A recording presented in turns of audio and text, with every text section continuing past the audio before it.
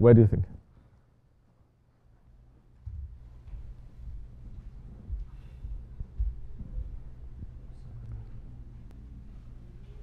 Take a guess.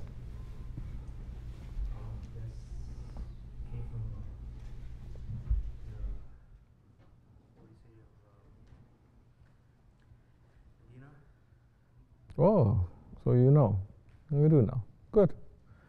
The idea of a dergah, a group of believers who are leaving everything their families, their wealth, their influence, their ties, and coming together for the sake of Allah to worship properly together and to make progress in the way of Allah. It is a sunnah of Rasulullah. And such a thing, in reality, is the first time ever in history that it is put like that. Do you know why?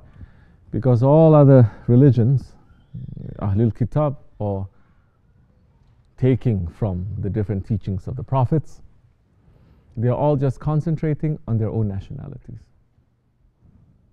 Concentrating on their own people, at the very least, concentrating on their own skin color or their own language. They don't admit people from outside.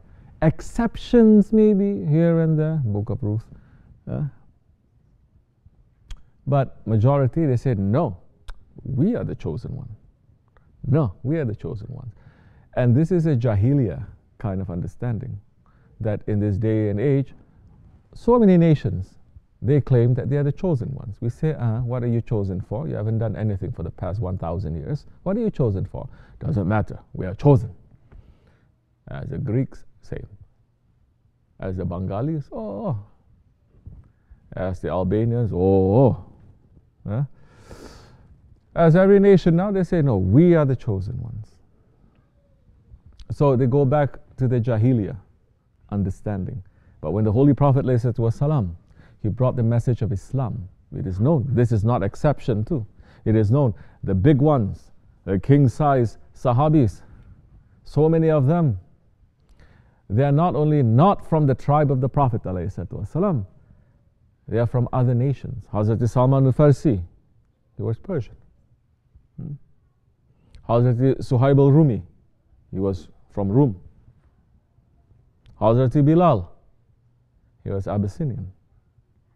And these are the pillars of Islam, pillars of the community of the Sahabis. You understand? And they come together because this was also something that really hurt the Quraysh at that time. Because they say he's coming and he's breaking every rule, he's breaking every tie. Because all they believed in are the Arabs, like, like it is now. They have nothing, nothing, but they say the thing that we love the most that we cannot break is our lineage. Correct? They have nothing, maybe, but they can sit and they can sing the poetry about their lineage for hours. And this is something that the Holy Prophet Wasallam, he doesn't like too much. Correct? You are up like this or like that, you know. So now, all these ones, and Prophet is saying there is no difference between Arab and Ajam, except for taqwa. Hmm? The one Sahabi that was just joking with Hazrat Bilal, and he said, Oh, you son of a black woman. It is very mild. And they were just joking.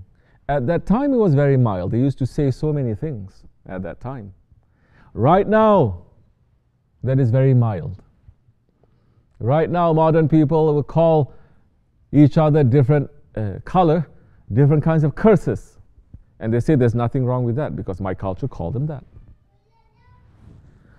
Uh, but Hazrat Bilal, when he heard it, his heart broke. And when he came to the presence of the Holy Prophet, والسلام, Prophet والسلام, knew immediately something was wrong. And he says, Ya Bilal, what happened? He was making it public. He could have made it private, but he made it public so that everyone will learn.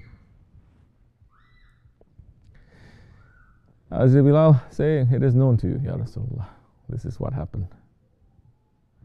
Prophet والسلام, he got so upset, his face is white. That he says, call that other Sahabi. The other Sahabi came, Prophet was very upset, and the Sahabi knew immediately what he did. He lay down. Prophet was turning his face, didn't even look at him. He lay down on the floor and he says, Ya Bilal, step on my face. Bilal started crying. He started crying. He says, No, I forgive you. He says, No, I'm not accepting it. He's saying, Step on my face. Both of them, all of the other Sahabis, they heard that and they started crying. And Hazrat Bilal then pleaded to the Holy Prophet, والسلام. the Prophet says, I'm not interfering. So Hazrat Bilal now, he is caught. So he says the only way to stop everyone, their hearts from breaking. So he went there and he just touched the sole of his feet, the bottom of his feet, on that other Sahabi's face, and he put it away. And he got up, they hugged. And everyone was crying, they understood. So it's a very delicate situation, this, that the Arabs, they were taking for granted. So the Prophet, ﷺ, he came to cut all of that. They're saying this, this one comes from a good family. He's cutting off from his family. In the old days, to cut off from your family means you have no way. Because you cut off from your family, you can go to other people, but your family is going to tell other people, this one, we kick him out, no one is going to accept you. It's not that easy. Like today, everyone is cut off from everything. You think that you can be doing anything that you want. In those days, you cannot even move if you don't have the support of a patron, someone who is giving you the support. That's why Hazrat Abu Talib, Abu Talib, Abu Talib was very important. The importance of Hazrat Hamza was very important to the Holy Prophet. So now he's cutting off the relations with your family, with the tribe. Between a master and a servant, he says, there's no difference. Between a slave and a master, no difference, he's saying. Between black and white, no difference. He's not teaching religion, he's teaching spirituality.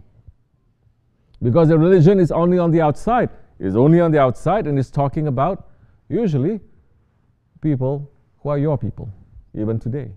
You think about Christianity, everyone thinks it's a white man's religion. It is not religion coming from a prophet of the Ben Israel. Correct? although that teaching now reached all the way to India, the apostle Thomas, he went all the way to India. Nobody thinks of Christianity as an Indian religion. Although there were apostles who went into Byzantium and the Greeks took them, that religion, nobody thinks of Christianity as a Greek religion, really. But Islam, nobody can say that it is an Arabic religion. Hmm. So, the dargah, taking people, people who want to understand their reality, taking a guide, slowly fixing themselves and fixing the, the things that is under their responsibility. We don't do anything in tariqat if it's not a sunnah. Understand? If you think a little bit, try to draw conclusions, that when you start thinking, that's when your heart is going to open. Fatiha. Amen.